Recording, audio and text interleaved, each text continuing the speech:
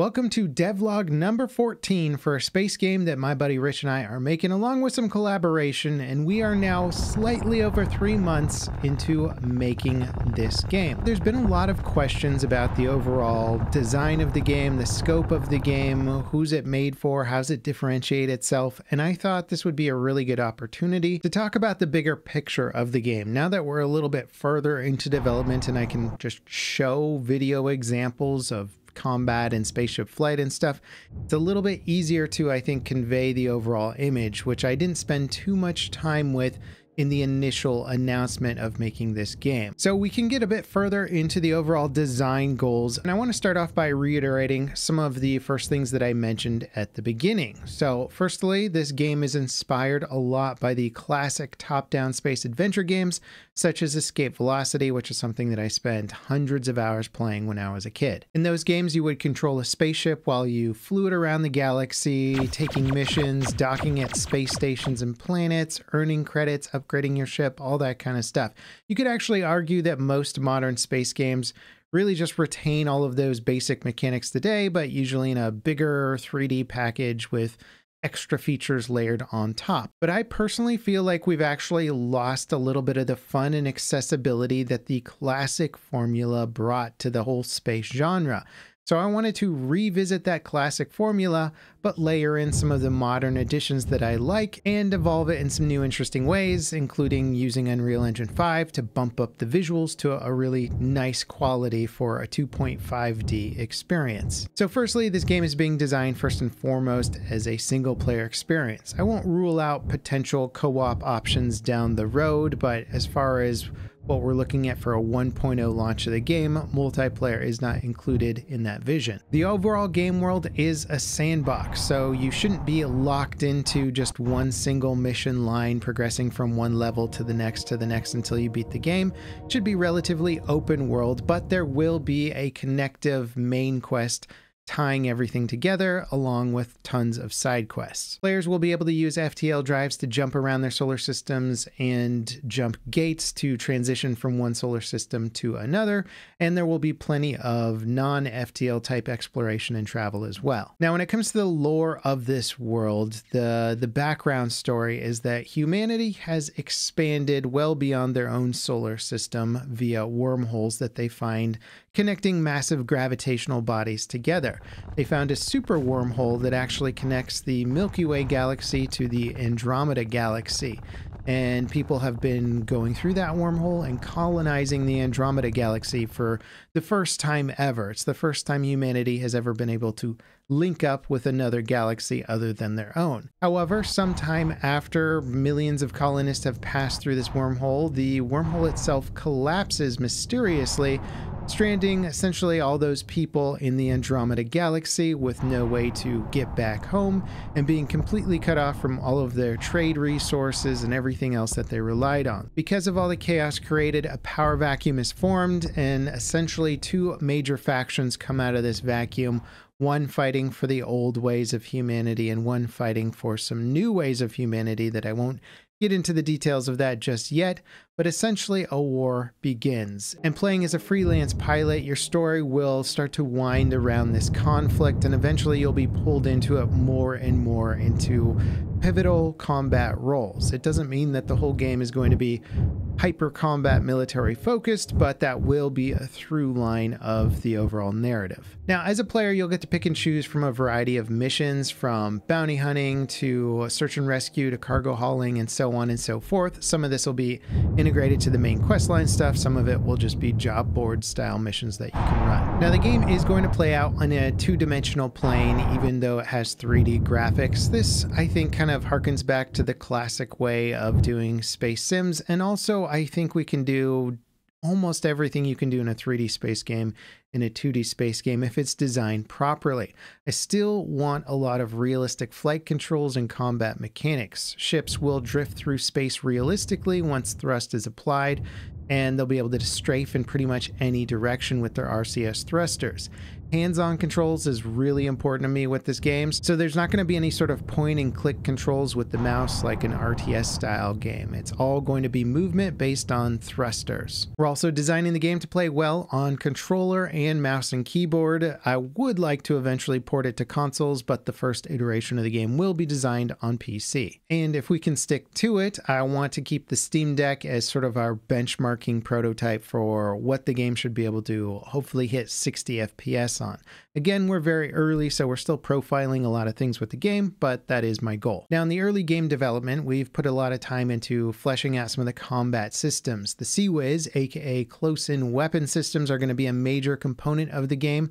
They'll sort of act as a shield defense system. If you have ammo in your CIWS, you should be able to shoot down incoming missiles. However, the defense system can be overwhelmed by saturating it with lots of missiles. Uh, it can be penetrated while it's being reloaded, or if you target the CIWS system specifically with other weapons, take them out, then essentially they won't have defense systems to get through. Missiles and countermeasure combat is going to be a major component of the game, in addition to other projectile weapons like railguns and even some beam weapons that'll be a little bit further down the progression line. Now, I don't want this game to play out like any old action RPG where you're, say, chewing through hundreds of enemies per mission. I want each combat encounter to feel a bit more serious and like you have to take it seriously, even if the ship you're going up against is outclassed by your ship. I want them to still be able to do a lot of damage to you if you're not on your guard, if you make a silly mistake. They should be able to really deplete your health and ammunition and all that kind of stuff. I want to sort of employ some survival game type mechanics here.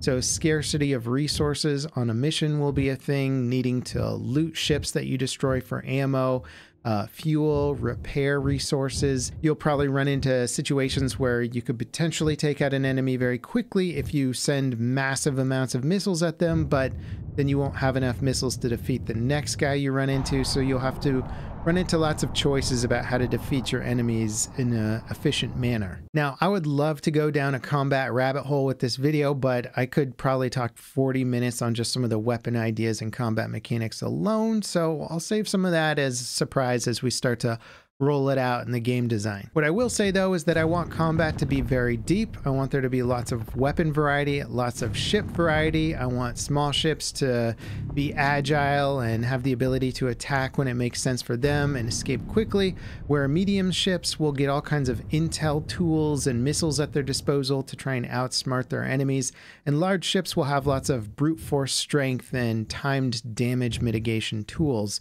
That's kind of how I'm thinking about breaking up the classes, but I also want lots of overlap between those, so not all battleships and not all cruisers and not all destroyers will perform the same as other ones. There'll be some hopefully interesting nuance there. Now, the UI in this game is going to play an extra important role because there's going to be a lot of outside of your visible distance combat engagements, which you will fight within the PIP, the picture in picture locking on to enemy ships that are, say, five kilometers away and launching a missile salvo. You'll need a ton of information to see what projectiles are coming towards you, what projectiles are going out, how much damage you're doing to the enemy ships at range, what's the best way to counter them, are they countering you? All that kind of stuff is very experimental, and we have a lot of plans for how to flesh it out. And I think it's going to require a lot of adaptive UI elements, things fading out at the right time, things scaling down when you don't need them quite as much, camera systems that zoom in and zoom out very easily or maybe even automatically with movement and what's happening on screen. So we're going to spend a lot of time with the UI and dialing it in because I don't think there's a lot of games that have tried to do exactly what we're doing with the pip type combat. There will of course also be on-screen combat that will be reserved a little bit more for some of the close-in warfare and I would like the long range to close-in warfare to be kind of 50-50 in most situations and especially if you spec your ship more towards close-in weapon systems you might just be getting close up to your enemies more often than a ship that's designed to do more sniping or something like that. Now, this game isn't just going to be a combat game. There's going to be tons of exploration, scanning, looting, trading, and even cargo hauling will be a key part of the gameplay loops. Of course, it would be fun to add in some sort of asteroid mining at some point, but I'm going to actually leave that as a stretch goal for the game so that we just don't overload ourselves with too many features and have to cut back on scale or something to kind of hit our goals or deadlines. Now, the physicality and visual visual representation in this game is really important to me. I want to see ships physically dock at stations, uh, at outposts, with derelict ships and disabled ships. If you're going to loot from a ship that you find, I want it to physically dock with it so that you see how the cargo is being transferred from one ship to another. When you find cargo drifting in space, I want the cargo doors on your ship to open up. I want the cargo pod to go inside the ship. I want you see a good visual representation of everything that's happening. A stretch goal would be seeing cargo containers physically loaded onto your ship when you do some trading in port. That kind of stuff uh, means a lot to me, and I think kind of goes a long way into selling the visual realism of this universe. Even though it is a 2D game, I think we can approach it with a, a realistic element. Now, my plan is to only let you control a single ship. Many of these top-down space games are about fleet control, building up a massive fleet, having a small squadron of ships. This time, I just want you to control a single ship, worry about your single ship. That said, I want there to be missions where you might team up with a group of AI and have to work with them. Maybe you could hire an AI escort uh, to help out with you. Those are kind of things that I'd like to reserve as stretch goal stuff. I also like the idea of you being able to own multiple ships and swap them out in your hangars and decide which ship suits the mission that you're taking uh, the best and experiment and see which what kind of combat you like. Do you enjoy being a battleship captain or do you like the speed and agility of a destroyer? I don't want people to feel too locked into a specific type of combat role and I want them to experiment and sort of gravitate toward what they enjoy the most. I'd like to put quite a few ships into the game. The ships themselves will have bespoke abilities. They'll have tons of module ports. You'll be able to swap out weapons and things to customize the use of the ship to your liking. This could be upgrading turrets, swapping out the ammo types that you use, swapping out the missile types that you use, swapping in different upgrade modules. Some will be full on upgrades, some will be side grades, like, say, exchanging cargo space for extra combat fuel or vice versa. We're also playing around with the idea of some light XP mechanics. I think for the most part, the game will be based on earning credits and buying new ships and upgrading those ships, which will be sort of separate from the XP system.